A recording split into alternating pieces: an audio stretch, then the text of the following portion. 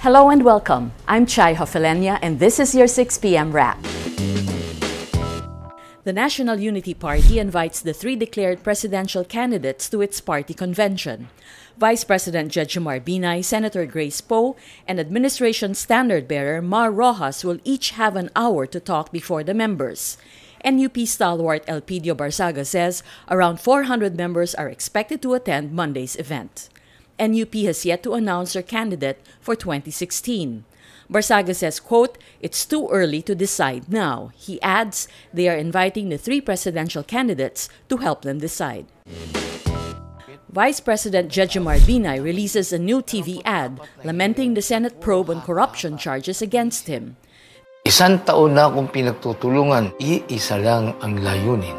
Sirain ang aking apat na dekadang paglilingkod sa inyo. Masakit. Ngunit ang pinagdadaanan ko ay wala sa kalingkingan ng pagdurusa ninyo sa araw-araw. Ang pagtitiis at kawalan ng pag-asa. This is the second TV ad Binay released since May.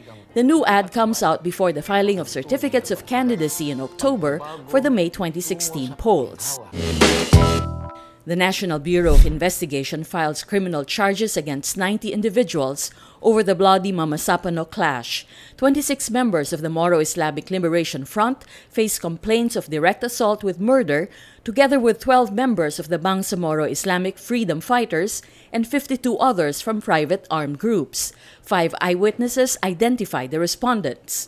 The police operation in January was meant to hunt terrorists, but ended in the death of 44 Special Action Force troops, 5 civilians, and 18 rebels. Unidentified gunmen kidnapped three foreigners and one Filipina in Samal Island in Davao del Norte late Monday evening. Police identified the victims as Canadians John Ridsdale and Robert Hall, Norwegian Kjartan Sekkingstad, and his Filipina girlfriend only identified as Tess. Naval officials say the kidnappers' pump boat headed towards Pantukan town in Compostela Valley. Samal Island experienced a similar incident in 2001 when members of the Abu Sayyaf group attacked Pearl Farm Resort. Singapore sentences a Filipino nurse to four months in prison for insulting Singaporeans online and lying to the police. Ello Edmundsel Bello, or Eds Elio, will spend three months in jail for sedition and another month for lying to police who investigated him.